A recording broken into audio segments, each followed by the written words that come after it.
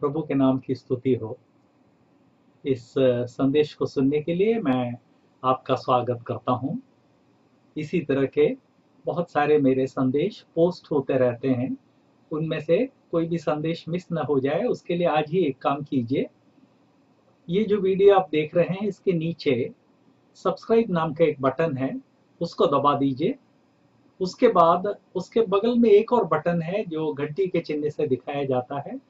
उसको भी प्रेस कर दीजिए तो आइंदा हम कोई भी वीडियो पोस्ट करेंगे तो तुरंत ईमेल से उसकी सूचना आपको मिल जाएगी और आप कोई भी मैसेज या कोई भी संदेश मिस नहीं करेंगे।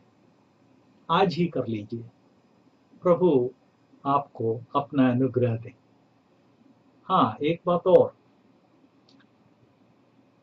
यदि आपके मित्रों में ऐसा कोई है जिनको इन संदेशों से आत्मिक प्रोत्साहन मिल सकता है तो उनको ज़रूर बताएँ कि वे इस चैनल को ज़रूर देख लें। ये चैनल यूट्यूब बार जे सी फिलिप या YouTube slash J C Philip नाम से पहुँचा जा सकता है।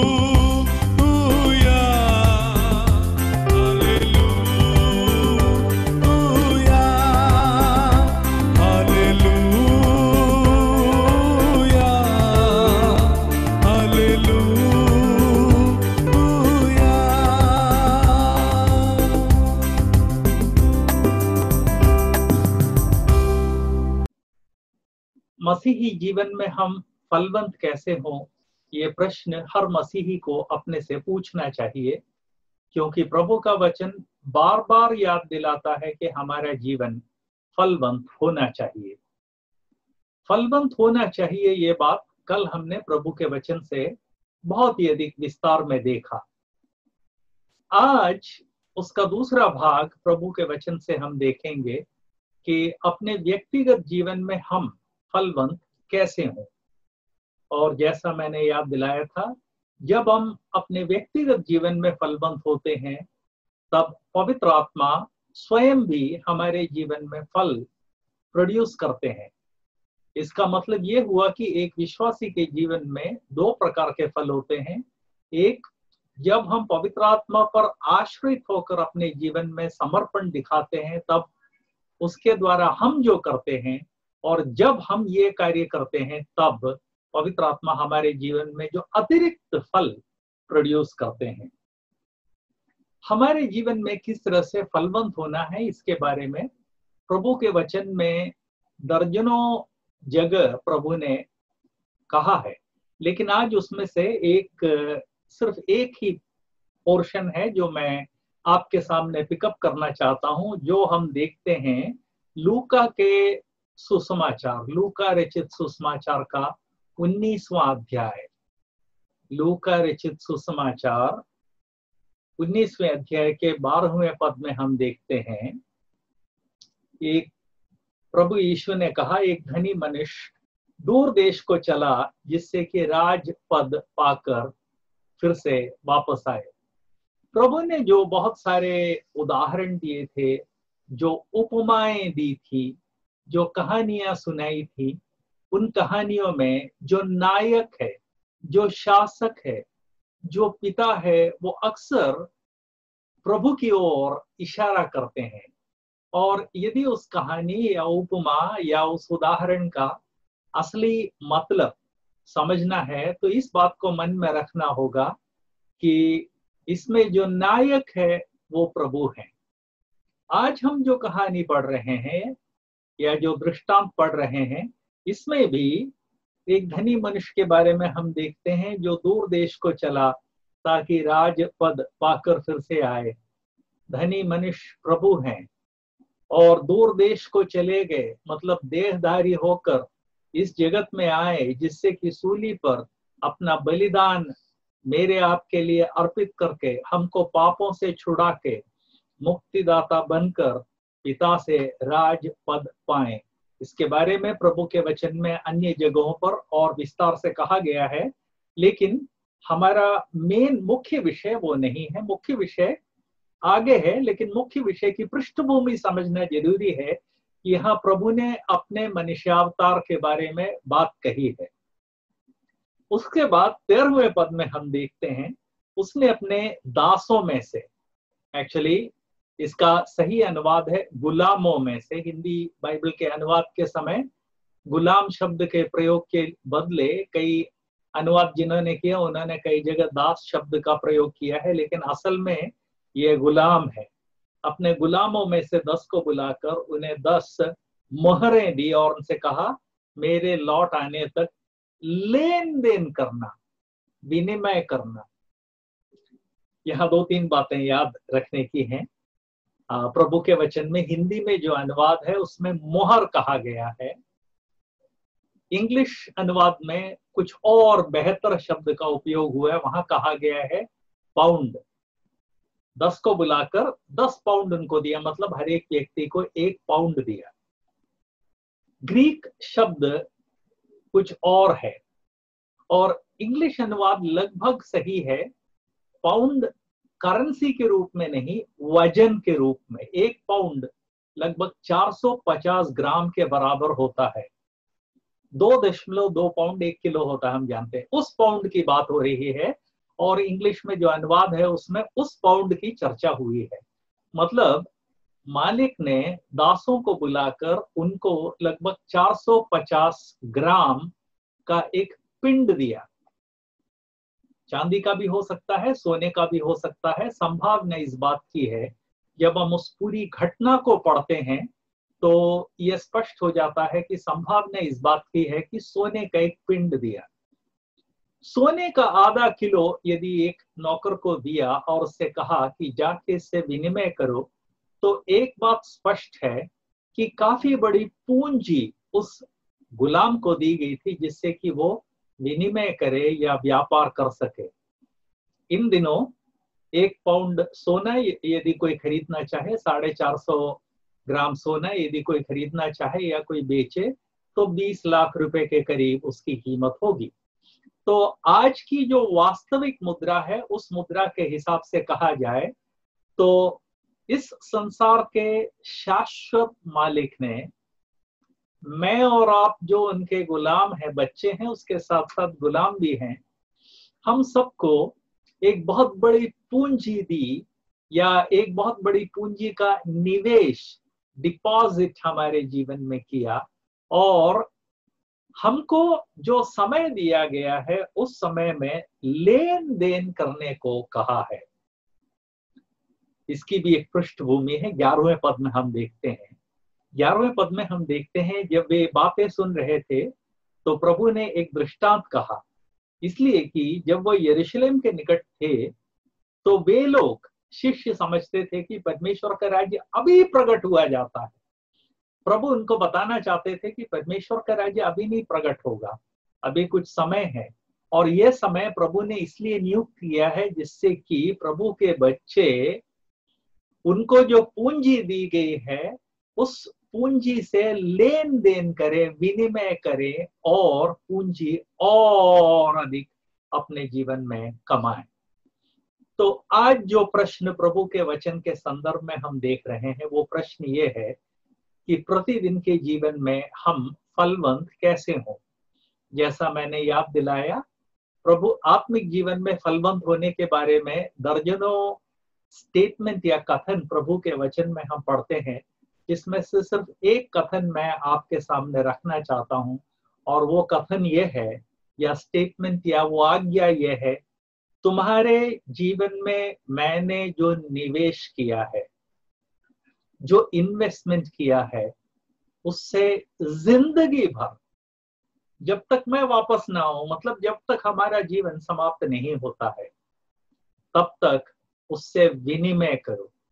प्रिय भाइयों और बहनों आज जब हम प्रभु के वचन के समक्ष बैठे हुए हैं तो पहली बात मैं याद दिलाना चाहता हूँ कि जिस क्षण मैंने और आपने प्रभु यीशु को मुक्तिदाता के रूप में ग्रहण किया, उसी क्षण प्रभु ने न केवल हमारे पाप माफ़ कर दिए, न केवल हमको शाश्वत जीवन दिया, बल्कि मुझे और आपको लेकर प्रभु के शरीर के अंग बनाया और अंग बनाने के साथ साथ हम में से हर एक के जीवन में कई प्रकार के निवेश किए, जिसमें से एक निवेश के बारे में हम पढ़ते हैं। पहला कुरंथियों ग्यारहवें अध्याय में। पहला कुरिन्थियों ग्यारहवें अध्याय में जहाँ पवित्र आत्मा के बपतिस्मे के बारे में कहा गया है, उसी अध्याय को आगे पढ़ेंगे तो वहाँ प्रभु का वचन स्पष्टतया कहता है कि एक व्यक्ति को इस आत्मा के द्वारा फलानी चीज़ दी जाती है, दूसरे व्यक्ति को फलानी चीज़ दी जाती है। जिससे कि हम सब उसका उपयोग कर सके। तो जिस क्षण मैंने और आपने प्रभु यीशु को मुक्तिदाता के रूप में ग्रहण किया, उसी क्षण पवित्र आत्मा ने मेरे और आपके जीवन में पहला कुरिंथियों ग्यारह के हिसाब से कम से कम एक आत्मिक वरदान दिया जो प्रभु का निवेश है हमारे जीवन में। जैसा मैंने कहा, और भी काफ़ी सारे निवेश हैं, लेकिन आज मैं सिर्फ़ एक निवेश के बारे में बताना चाहता हूँ, वो है पवित्र आत्मा के द्वारा आपको दिया गया आत्मिक वरदान। और प्रभु का कहना है कि उस आत्मिक वरदान का हम सही रीति से उपयोग करें। पहला पत्रस, चौथे अध्याय के दसवां, दसवें पद में साफ़ साफ़ लिखा है कि उसका उपयोग हम करें। ठीक है? तो स्वामी ने दे दिया, बोला, मेरे लौट आने तक लेन देन करना। ठीक है? अच्छा चौदहवें पद में हम देखते हैं, परंतु उसके नगर के रहने वाले उससे बैर रखते थे और उसके पीछे दूतों से कहला भेजा कि हम नहीं चाहते कि वो हम पर राज्य करे। ये संसार की रीति है। ये गुलाम प्रभु की संतान थे। नगर के लोग कौन थे? नगर के लोग वे मसीही हो सकते हैं जो नाम के मसीही हैं, लेकिन जिन्होंने कभी प्रभु को ग्रहण नहीं किया। इसलिए ना तो प्रभु की संतान है, ना प्रभु के गुलाम है। नगर के लोग गैर मसीही लोग भी हो सकते हैं जिन्होंने कभी प्रभु को ग्रहण ही नहीं किया। वे लोग नहीं चाहते हैं कि प्रभु का जो सनातन राज्य है, उस राज्य को प्रभु हमेशा सदा सर्वदा के लिए, राज्य करने के लिए वापस पधारे, जाने के बाद वापस पधारे। लेकिन मुख्य विषय वो नहीं है। मुख्य विषय पंद्रहवें अध्याय, पंद्रहवें पद में हम पढ़ते हैं। जब वो राज पद पाकर लौट आया।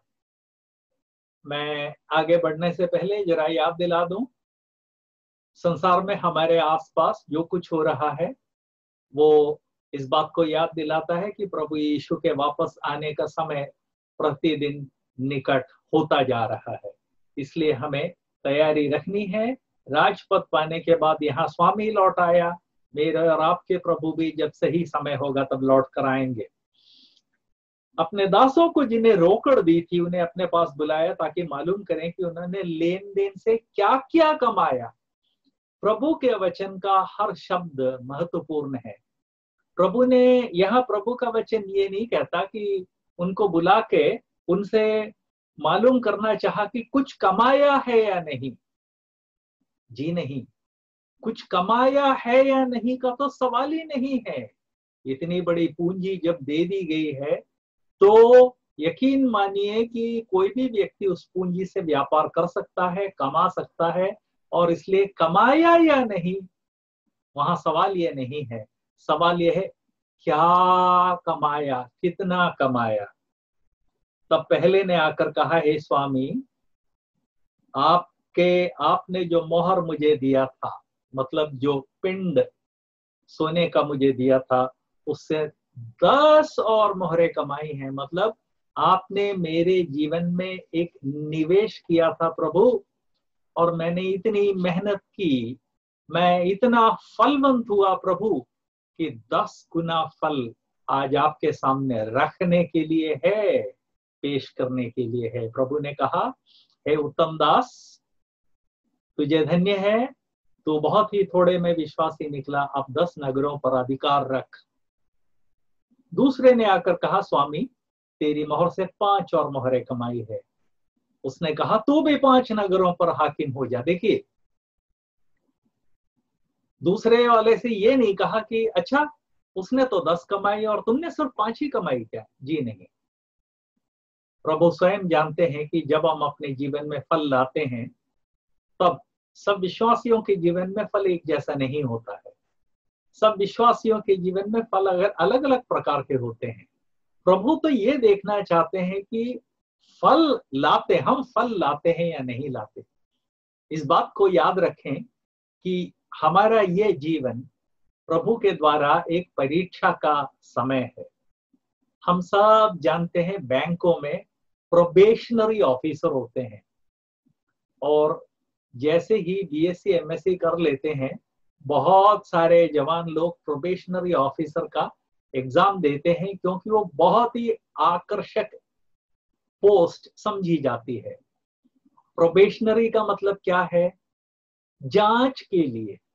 प्रोबेशनरी ऑफिसर कौन है? जिसको जाँच के लिए नियुक्त किया गया है कि भैया, ये अफसर का काम कर सकता है या नहीं कर सकता है। बड़ी कठिन परीक्षा होती है। उसके बाद इंटरव्यू भी होता है। और जब सारी परीक्षा दे देते हैं इंटरव्यू हो जाता है सीधे सीधे उनको अफसर थोड़ी अपॉइंट किया जाता है। इतने, इतनी कठिन परीक्षा से होकर टेस्टिंग से होकर गुजरने के बावजूद उनको प्रोबेशनरी ऑफिसर रखा जाता है और जब उनका ट्रेनिंग पीरियड खत्म हो जाता है, तब उनकी जाँच होती है। इसी तरह से सारे विश्वासियों को मैं याद दिलाना चाहता हूँ। जो बच्चे आज प्रभु का वचन सुन रहे उनको भी मैं याद दिलाना चाहता हूँ। मेरे आपके जीवन में प्रभु ने मुझे आपको जो समय दिया है, चाहे नौकरी हो बिज़नेस हो, प्रभु की सेवा हो, या रिटायर्ड हो, या गृह संचालन आपकी ज़िम्मेदारी हो, या यदि आप विद्यार्थी हो, इस अवस्था में प्रभु ने आपको जो समय दिया है, वो समय इस बात को याद रखें कि ये जाँच का समय है। विद्यार्थी हो तो विद्यार्थी जीवन में ही प्रभु आपको जाँच रहे हैं। ये पढ़ता है क्या, ये लिखता है क्या, ये इस बात को समझता है क्या कि ये मेरा बच्चा है और इस कारण इसे अपने जीवन में इतनी मेहनत करनी चाहिए कि श्रेष्ठ से श्रेष्ठ पोजीशन पर वो पहुँच सके। उसे ये बात समझनी चाहिए कि अच्छी पढ़ाई के द्वारा भी वो मेरे नाम की महिमा कर रहा है। इसलिए जो बच्चे, जो विद्यार्थी लोग, स्कूल के और कॉलेज के विद्यार्थी आज प्रभु का वचन सुन रहे हैं, उनको मैं याद दिलाना चाहता हूँ, मेरे प्रिय बच्चे, मेरे प्रिय युवा भाई या युवा बहन, यदि तुम पढ़ाई कर रहे हो तो ऐसी पढ़ाई करो कि सर्वश्रेष्ठ रिज़ल्ट आए, क्योंकि ये भी तुम्हारे जीवन में प्रोबेशन के लिए प्रभु ने दिया है। और अभी तो आगे बहुत कुछ पड़ा हुआ है। तो जब प्रभु ने दास से ये बात, दासों से ये बात पूछी कि क्या कमाया है, ये मुझे आपको याद दिलाता है कि प्रभु ने मेरे आपके जीवन में जो निवेश किया है, जो आत्मिक वरदान का निवेश किया है, उसका उपयोग सही तरीके से करना है। आत्मिक वरदानों के बारे में दो चार शब्द कुछ और देर के बाद मैं बोलूँगा। अभी तो सिर्फ़ पृष्ठभूमि चल रही है। बीसवें पद में हम पढ़ते हैं, तीसरे ने आकर कहा, हे स्वामी, देख, ये तेरी मोहर है, जिसे मैंने अंगोछे में बाँध रखी। तीसरे दास, उसने कुछ नहीं किया। निकम्मा था नकारा था और प्रभु ने तो बहुत ही कड़ाई से, बहुत कड़े शब्दों में उसकी निंदा की है। वो ना केवल उसने कुछ नहीं कमाया, मालिक के पास आकर, हे प्रभु, संसार के शाश्वत सृष्टिकर्ता, मुझसे बड़ी गलती हो गई। मुझे नहीं मालूम था प्रभु की कैसे विनिमय करूँ। इसलिए प्रभु मैंने उसे हटाकर रख दिया था, मुझसे कुछ नहीं हो पाया प्रभु, ये बोलने के बदले वो ना केवल उस पैसे को बिना विनिमय के वापस कर रहा है, उसकी धृष्टता देखिए जो मालिक की बुराई करता है। देखिए, यहाँ हम पढ़ते हैं बीस इक्कीसवें पद में, मैं आपसे डरता था, इसलिए कि आप कठोर मनुष्य हैं, जो आपने नहीं रखा उसे उठा लेते हैं। और जो आपने नहीं बोया उसे काटते हैं। देखिए इस तरह के जो प्रयोग हैं, जो आपने नहीं रखा उसे उठा लेते हैं, जो आपने नहीं बोया वो काट लेते हैं, ये वाक्य सामान्यतया डिक्टेटर जो होते हैं, तानाशाह, उन लोगों के लिए ये वाक्य या ये शब्द यूज़ किए जाते हैं। मैं और आप एक प्रजातंत्र में रह रहे हैं इसलिए मैं और आप इसका मतलब नहीं समझते हैं। आज से सौ साल पहले जब हिंदुस्तान हिंदुस्तान या हिंदुस्तान पर तानाशाहों का राज्य था, उस समय सारे हिंदुस्तान में जमींदार लोग हुआ करते थे। पूरे दक्षिण से लेकर उत्तर तक जमींदार हुआ करते थे। और इन जमींदारों की आदत थी जाते जाते किसी गरीब के खेत में अच्छे फल दिखाई दिए या अच्छी फ़सल दिखाई दी तो जाकर अपने दासों से कहते थे जाओ फलाने खेत में से फलाना काट के ले आओ। कोई प्रश्न नहीं पूछ सकता था। मैं इस समय आप लोगों से ढाई हज़ार किलोमीटर के करीब दूर हूँ। यह प्रदेश इस, इसी तरह से जमींदारों के द्वारा नियंत्रित प्रदेश था। गुलामों को थोड़ी सी ज़मीन दे दी जाती थी, गरीबों को खेती करो। लेकिन अक्सर मालिक का दिल, मान लीजिए, किसी चीज़ पर आ जाए, कटवा लेते थे। तो यहाँ ये जो दास इशारा कर रहा है, ये जमींदारों की तरफ़ है कि आपने जो खेती नहीं की, आप उसे काट लेते हैं। आपने जो बोया नहीं, उसे काटते हैं। मतलब आपकी खेती नहीं, खेती मैंने की। और समय आने पर मुझ गरीब को नहीं मिला, आपने उसको काट कर ले लिया। जो तूने नहीं रखा है, उसे उठा लेता है। मतलब तू लूट लेता है, तू लुटेरा है। इस संसार के जो तानाशाह लोग हैं, जो एकाधिपति लोग हैं, वे लोग इस तरह से करते हैं। लेकिन इस संसार का सृष्टिकर्ता, जिन्होंने अपने स्वयं स्वयं के जीवन को मेरे आपके लिए सूली पर दे दिया। उस व्यक्ति से जब हम बात करते हैं तो एक तानाशाह के रूप में उस व्यक्ति को अभिसंबोधित करें। ये हमारे आत्मिक जीवन में एक बहुत बड़ा गुनाह है। पाप है। लेकिन मैं और आप, यदि अपने जीवन में प्रभु ने मेरे आपके जीवन में जो निवेश किया है, उसको बिना पहचाने, उसका यदि दुर्विनियोग करते हैं तो फाइनली हम प्रभु से जब आपस में बातचीत करते हैं, तब हे प्रभु, मेरी कमज़ोरी के लिए मुझे माफ़ कीजिए बोलने के बदले हम प्रभु को दोष लगाते हैं। जो मसीही अपने जीवन में फलमत नहीं होता है, वो अपनी सारी कमजोरियों के लिए, अपनी सारी गलतियों के लिए अक्सर प्रभु को दोषी ठहराता है। प्रभु का वचन साफ़ साफ़ ये बात कहता है। बाईसवें पद में हम देखते हैं। स्वामी ने कहा, हे दुष्ट दास, तुम्हारे मुँह से मैं तुमको दोषी ठहराता हूँ। तू मुझे जानता था कि कठोर मनुष्य हूँ। एक्चुअली ऐसा नहीं है। दास ने प्रभु के विरुद्ध दोषारोपण किया था। लेकिन प्रभु मान के चलते हैं अच्छा ठीक है, तुमने जो बोला मान के चलो कि वो सही है। वैसे तो तुम गलत बोल रहे हो, लेकिन तुम जो बोल रहे हो मान के चलो कि वो सही है तो जो मैंने नहीं रखा उसे उठा लेता हूँ और जो मैंने नहीं बोया उसे काटता हूँ तो तूने मेरे रुपए कोठी में क्यों नहीं रख दिए? आजकल कोठी शब्द का अर्थ कुछ और हो गया है। मालिक के कहने का मतलब यह था कि तुमने जो पैसा मैंने दिया था, वो सर्राफों को क्यों नहीं दे दिए? आजकल के आजकल की भाषा में कहा जाए तो बैंक में क्यों नहीं डिपॉजिट कर दिया?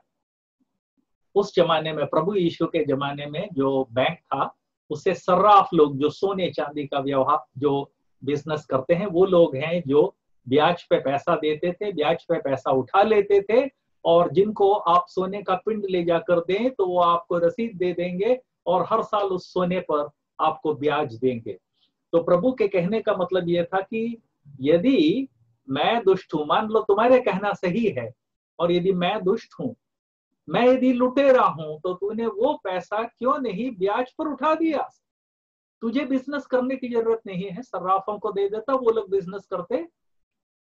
मैं आकर ब्याज समेत ले लेता, प्रिय भाइयों और प्रिय बहनों। यह दो चार बातें आगे बढ़ने से पहले समझना ज़रूरी है। यदि हम अपने जीवन में प्रभु के प्रति समर्पण दिखाने के बदले, फलवंत होने के बदले, यदि जीवन भर निष्क्रिय और निष्फल रहे तो हमारे जीवन में हमने जो गलती की है, हमने जो लापरवाही की है, उसके कारण अपने आप को धर्मी ठहराने के लिए स्वामी को दोष देने की आदत या दोष देने की टेंडेंसी हमारे अंदर आ जाती है। आज आगे बढ़ने से पहले एक प्रश्न मैं पूछूँ, एक या दो प्रश्न। प्रिय भाई या बहन, आपके जीवन में जो हो रहा है, उसके लिए आपने कभी प्रत्यक्ष रूप से दूसरे के सामने या परोक्ष रूप से मनी मन प्रभु को दोष दिया है क्या? मैं ये नहीं पूछ रहा कि, हे प्रभु, आप तो गड़बड़ करते हैं और आपने मेरा जीवन बर्बाद कर ये नहीं। क्या आपने अपने जीवन में कभी ये प्रश्न पूछा है, हे प्रभु? मेरे ही जीवन में ऐसा क्यों? मुझे ही ये सारी तकलीफें क्यों हो रही? मेरी ही जीवन में ये परेशानियाँ क्यों हो रही है? कभी पूछा है क्या? देखिए, मैं जो प्रश्न आपके सामने रख रहा हूँ, उसको सही सही समझिए। हिंदी में, मेरे जीवन में क्यों और मेरे ही जीवन में क्यों, दोनों में बहुत फ़र्क है। जब मेरे जीवन में कोई परेशानी आती है, मैं यदि प्रभु से पूछूँ, प्रभु, मेरे जीवन में क्यों परेशानी आपने भेजी है? वो एक सही प्रश्न है। लेकिन यदि मैं पूछूँ, प्रभु, मेरे ही जीवन में क्यों? वो एक गलत प्रश्न है। दोनों का अंतर हम समझ लें। हम में से किसी ने कभी मनी मन प्रभु से पूछा है कि, प्रभु, मेरे ही जीवन में क्यों? उसको देखिए उसको देखिए उसको देखिए उसको देखिए, उसकी क्या विशेषता है? मेरे जीवन में क्यों? ये प्रश्न कभी ना पूछें। यदि ये प्रश्न हमारे मन में आता है तो उसका मतलब है कि हम अपने जीवन में फलवंत नहीं है। ठीक है? स्वामी ने कहा कि उसको इन्वेस्ट कर देते, मैं ब्याज सहित ले लेता। ठीक है? अच्छा स्वामी ने ये आदेश जो उसके बाद चौबीसवें पद में एक आदेश दिया। जो लोग निकट खड़े थे, उनसे कहा वो मोहर उससे ले लो और जिसके पास दस मोहर है, उसको दे दो। उन्होंने कहा, स्वामी, उसके पास दस मोहरे हैं। मैं तुमसे कहता हूँ, ये आत्मिक जीवन के एक बहुत बड़ा शाश्वत नियम है, जो प्रभु ने आगे आगे के पद में कहा है। मैं तुमसे कहता हूँ, जिसके पास है, उसे दिया जाएगा। जिसके पास नहीं है, उसके पास जो है, वो भी ले लिया जाएगा। या छीन लिया जाएगा। प्रिय भाई और बहनों, आज के संदेश के बाद थोड़ा सा समय प्रभु का वचन खोलकर पहला कुरिंथियों ग्यारहवें अध्याय को शुरू से पढ़ें। वहाँ पर आत्मिक वरदानों की एक सूची दी गई, एक लिस्ट है। पहला पत्रस चार खोलकर दसवें पद से जरा आगे पढ़ें। वहाँ आत्मिक वरदानों की एक सूची दी गई है, एक लिस्ट है। ये वरदान हम में से हर व्यक्ति को दिए गए हैं। ये है वो निक्षेप, वो निवेश जो प्रभु ने मेरे आपके जीवन में किया है। ये जो आत्मिक वरदान है, इसको लेकर प्रभु ने उससे विनिमय करने को कहा है, सही रीति से विनिमय करके हमें प्रभु के लिए फल लाना है। एक का पाँच, एक का दस और एक का सौ करना है, यही है फल। आज जरा कुछ क्षणों के लिए अपने जीवन को मुड़कर जांचें। प्रभु यीशु को मुक्तिदाता के रूप में ग्रहण करने के बाद आपके जीवन में कितने दिन बीत गए? कितने महीने? कितने साल? कितनी दशाब्दियाँ बीत गई? इतने सालों के बीत जाने के बावजूद हम में से कितने लोग हैं जिन्होंने अपने जीवन में प्रभु के द्वारा दिए गए उस निक्षेप को, उस निवेश को समझा है? किसी प्रभु का वचन स्पष्टतया कहता है, किसी को टीचिंग का वरदान दिया गया है। किसी को दूसरों के मदद करने का वरदान दिया गया है, किसी को प्रार्थना करने का वरदान है, किसी को देने का वरदान है। और भी बहुत सारे वरदान वहाँ लिस्ट में बताए गए हैं। पहला पत्रस चौथा अध्याय खोलकर दसवें पद से आगे पढ़ेंगे तो वहाँ पता चलता है कि इवन वार्तालाप जब हम बातचीत करते हैं तो इवन बातचीत करने के लिए प्रभु की कृपा हमको दी गई है, जिससे कि प्रभु का बच्चा या प्रभु की पुत्री जब मुँह खोले तो लोगों को ऐसा लगे कि ये तो प्रभु हमसे बात कर रहे हैं। आप पूछेंगे, ब्रदर, आप कहा ऊँची हाई फंडा लाए? ऐसा कोई हो सकता है क्या कि कोई मनुष्य, नश्वर मनुष्य मुँह खोलकर बात करे और लोगों को लगे कि ये तो परमेश्वर बोल रहे हैं। जी हाँ मैं कोई ऊँची चीज़ नहीं बोल रहा। मैंने अपने स्वयं के जीवन में ऐसे कई विश्वासियों को देखा है, जो जब मुँह खोल कर बोलते हैं या बोलते थे, ऐसे भी कई हैं जो गुजर गए हैं, बोलते थे तो सुनने वालों को वाकई में लगता था कि प्रभु बोल रहे हैं। आप में से शायद कई लोगों ने साल्वेशन आर्मी का नाम सुना होगा। ये एक मसीही संप्रदाय है जो ऐसा मेरा अनुमान है कि लगभग अस्सी साल के आसपास, अस्सी या नब्बे साल पहले चालू हुआ था। ये लोग साल्वेशन आर्मी के लोग सड़कों पर जाकर, खासकर शराब खानों के पास जाकर खड़े होकर गाना गाने के बाद प्रभु का संदेश सुनाते थे। उसका जो स्थापक था, जनरल विलियम बूथ, उस व्यक्ति के बारे में कहा जाता है कि जब विलियम बूथ मुँह खोलकर बोलते थे तो लोगों को ऐसा लगता था जैसे प्रभु यीशु स्वयं बोल रहे हों। तो ये तो हो गया एक ऐतिहासिक फिगर। मैं इन दिनों जिस गाँव में रहता हूँ, यहाँ से एक पचास किलोमीटर दूर प्रभु के एक महान दास थे, सी टी मथाई। बहुत छोटी उम्र में गुजर गए। उनके बारे में कहा जाता था कि साक्षात प्रभु हमारे बीच में उनके द्वारा पधारे हैं। मैंने उनका नाम इसलिए लिया कि जो लोग आज संदेश सुन रहे हैं, इनमें से कई लोगों ने सीटी मथाई का नाम सुना होगा। आज भी मैं ऐसे कई मसीही लोगों को जानता हूँ, जो जिन दफ्तरों में काम करते हैं, जिस बिज़नेस में रहते हैं, जिस अड़ोस पड़ोस में रहते हैं, वहाँ पर दूसरे लोग उनके बारे में पूछो, फलाने को जानते हो क्या? एकदम से उनका रवैया मुख मुद्रा बदल जाती है। अरे वो वो तो मुँह खोल के उनकी वाणी जब मुँह से आती है तो ऐसा लगता है जैसे परमात्मा की वाणी सुन रहे हैं। मैंने मध्य प्रदेश उत्तर प्रदेश आदि में कई मसीहों के बारे में, गैर मसीहियों से ये गवाही सुनी है। तो जब प्रभु का वचन कहता है, पहला पत्रस दसवें अध्याय चौथे अध्याय में, कि कोई बोले तो इस तरह से बोले, जैसे प्रभु के विविध प्रकार के भंडारियों में से कोई बोल रहा है तो ये कोई सैद्धांतिक बात नहीं है।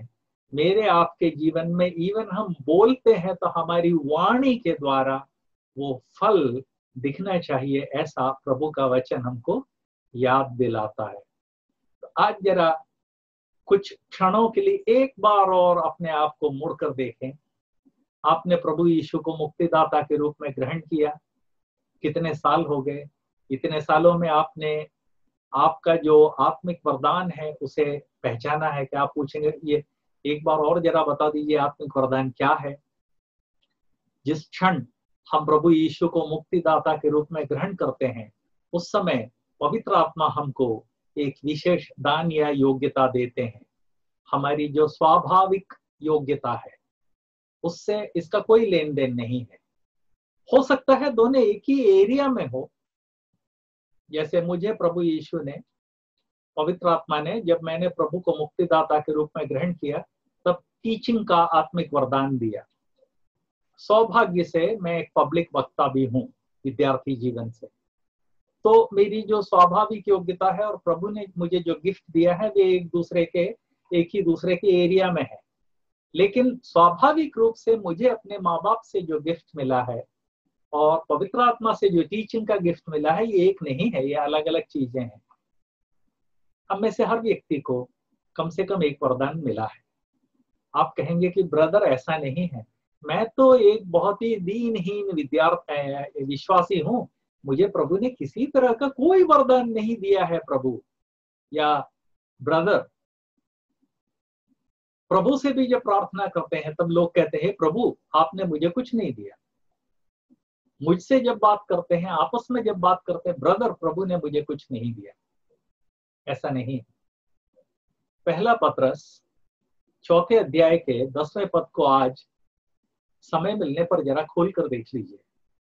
वहाँ साफ़ साफ़ लिखा है, जिस, जिसको जो जो वरदान मिला है, वहाँ ये नहीं लिखा है कि यदि किसी को वरदान मिला है। जी नहीं।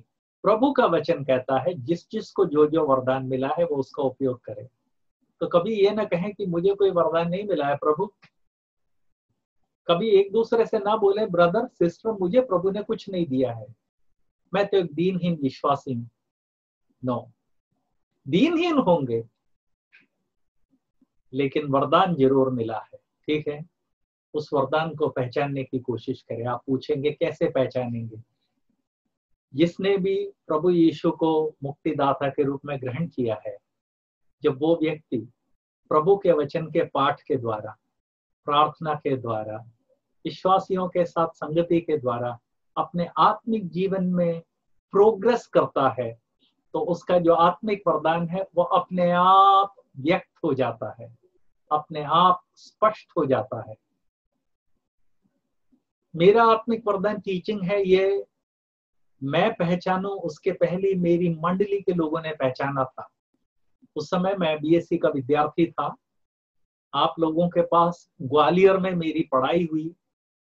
ग्वालियर में जो मंडली थी, उसके जो मुखिए लोग थे, जो एल्डर्स उन्होंने इस बात का पहचाना कि प्रभु ने मुझे, प्रभु के वचन को सिखाने का गिफ्ट दिया है। पहचान कर उन्होंने मुझे उसके लिए बार बार अवसर दिए।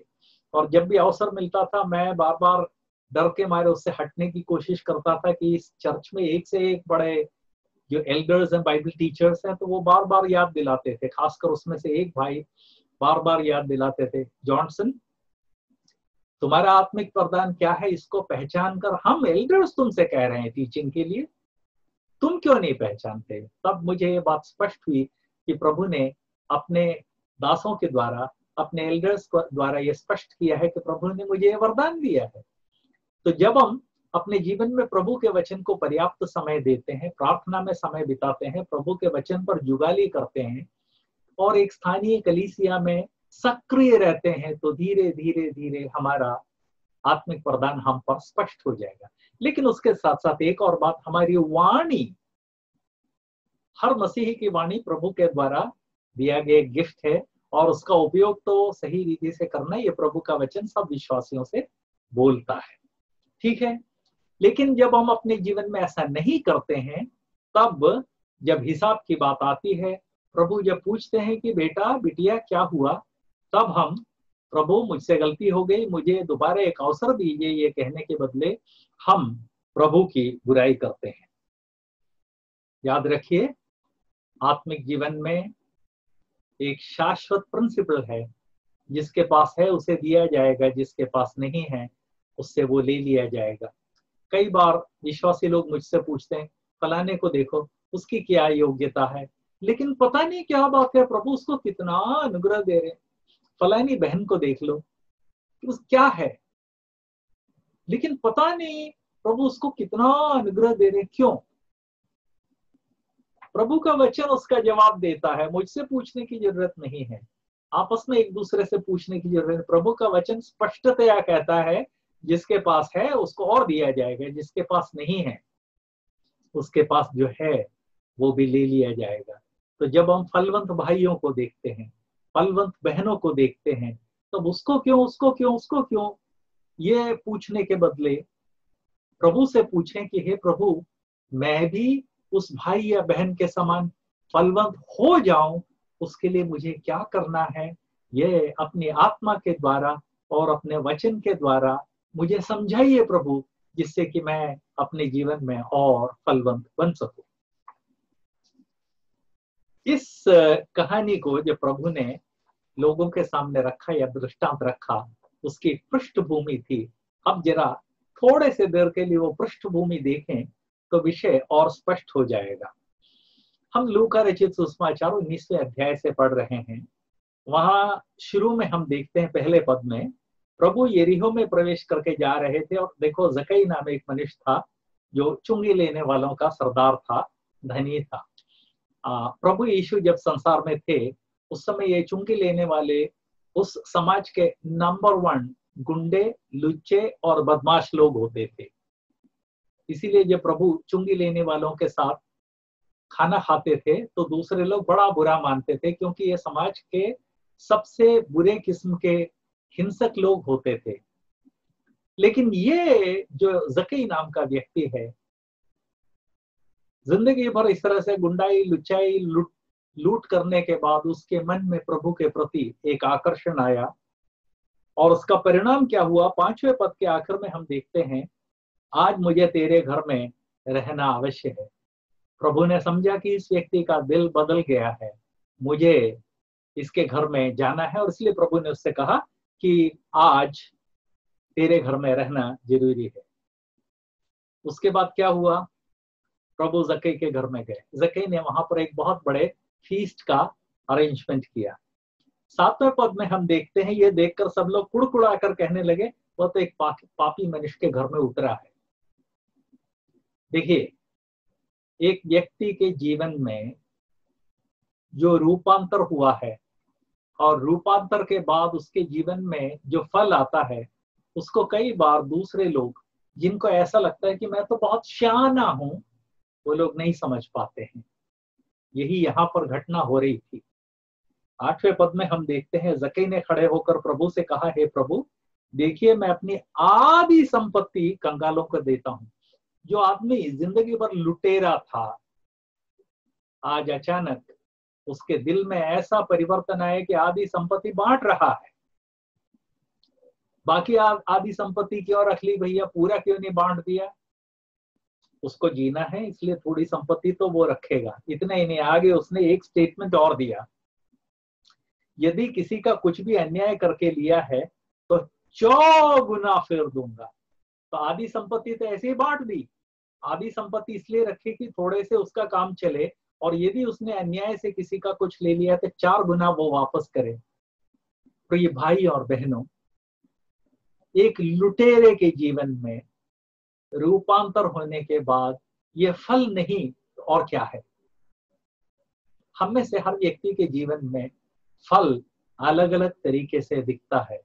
जो लुटेरा था, जब उसने उस लूट में से आधा बांट दिया और हरेक से कहा कि अन्याय से मैंने किसी का कुछ लिया है, मैं चौगुना तुमको दे दूँगा। तो शहर के सभी लोग वहाँ आके खड़े हो गए होंगे। उन सबको देने के बाद शायद उसको खाने लायक पैसा भी नहीं बचा होगा। फिर से मैं पूछना चाहता हूँ, एक व्यक्ति ने प्रभु को अपना मुक्तिदाता माना, प्रभु का बच्चा बन गया, प्रभु का गुलाम बन गया तो प्रभु उसने अपने जीवन में ये फल नहीं तो और क्या किया है? हम में से हर एक जीवन में फल अलग अलग तरीके से आता है। ये मैंने जो पृष्ठभूमि पढ़ के आपको सुनाई, उसके पीछे कारण है। हम में से हर व्यक्ति को समझना चाहिए कि हर एक के जीवन में फल एक समान नहीं होता है। फल अलग अलग तरीके से आता है। लेकिन फल आए, उसके लिए हमें पहले ये समझना पड़ेगा कि प्रभु ने हमारे जीवन में एक निवेश किया है, एक निक्षेप किया है।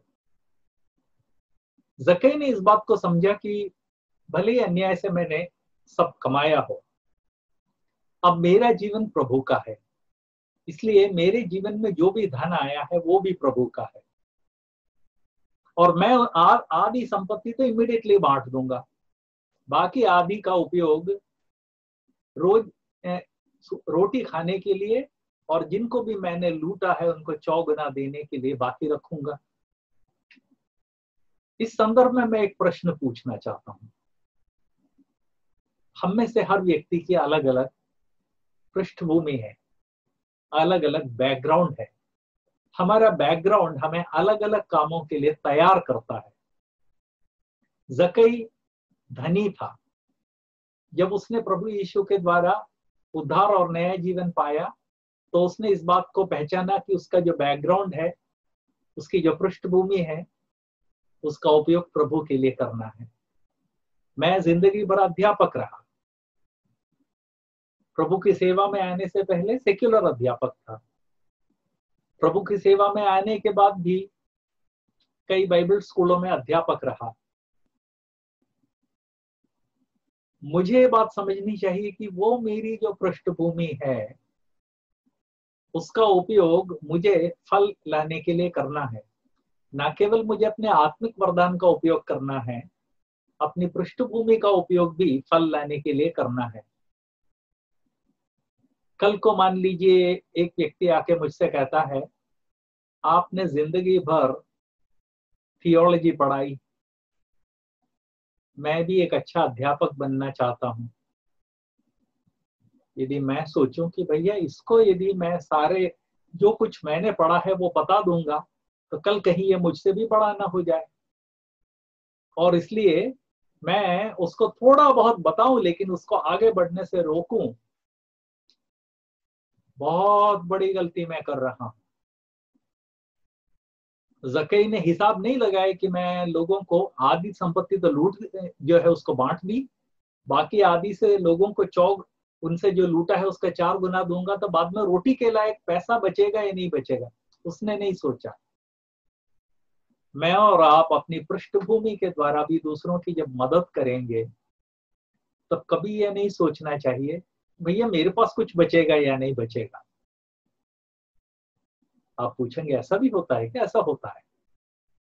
कई बार होता है। जब लोग आकर हमसे सीखने की कोशिश करते हैं, लेकिन उनका मन कुछ और होता है, कोई बात नहीं। ये ना सोचें कि भाई मैं कंगाल हो जाऊँगा। जी नहीं। आप जो कुछ दे सकते हैं, देते चले जाइए। उसके अलावा हमारा आत्मिक वरदान जो है, उसका उपयोग, जब भी, जो भी, जहाँ भी अवसर है, उसका उपयोग करें।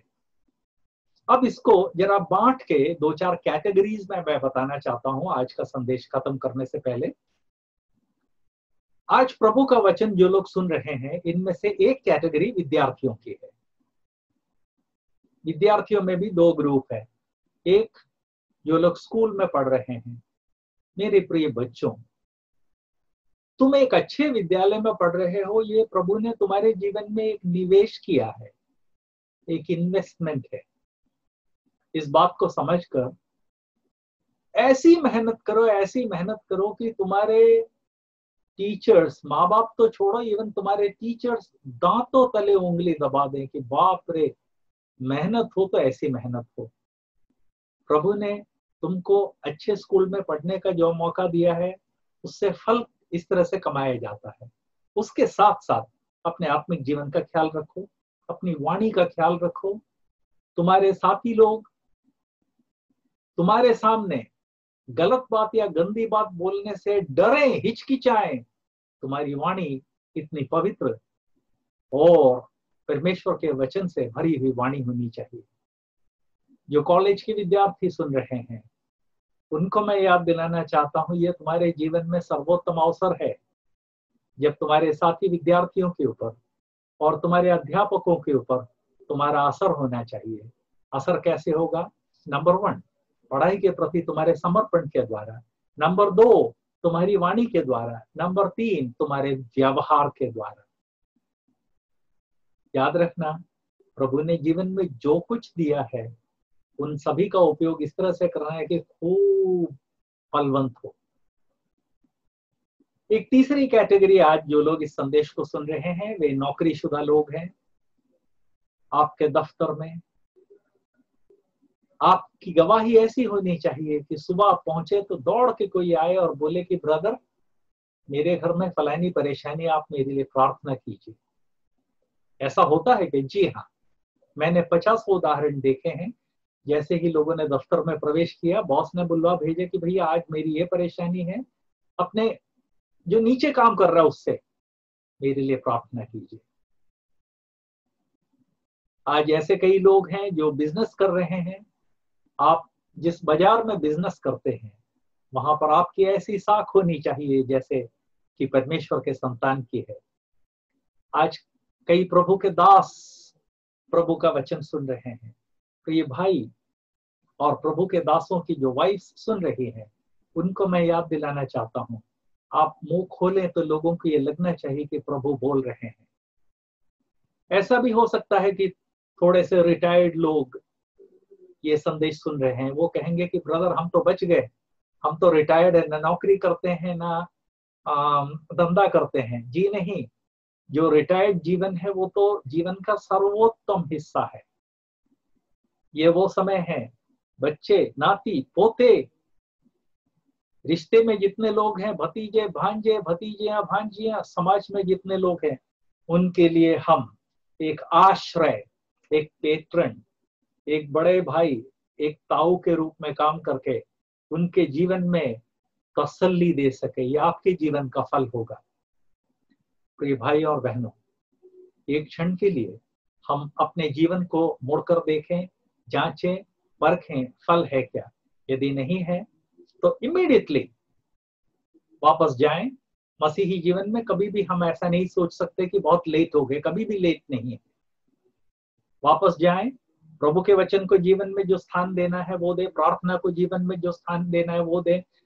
मसीह मसीही विश्वासियों के साथ जो संगति है, उसको पर्याप्त स्थान दे और प्रतिदिन प्रभु से विनती करें, प्रभु, बड़ा नुकसान हो गया, मुझसे बड़ी गलती हो गई। वो जो आपने दिया था, बाँध बूंद के मैंने बस उसको अलग रख दिया था, लेकिन आज गलती महसूस हुई है, प्रभु, अब मैं उसका उपयोग करना चाहता हूँ, मुझ पर दया दिखाइए, मुझे एक और अवसर दीजिए, मैं दुगनी या तिगनी मेहनत करूँगा, जिससे कि मेरे जीवन में भी फल हो सके। इन बातों को समझने के लिए और इसके अनुसार समर्पित होकर अपने जीवन को बिताने के लिए प्रभु हम में से हर व्यक्ति की मदद करे।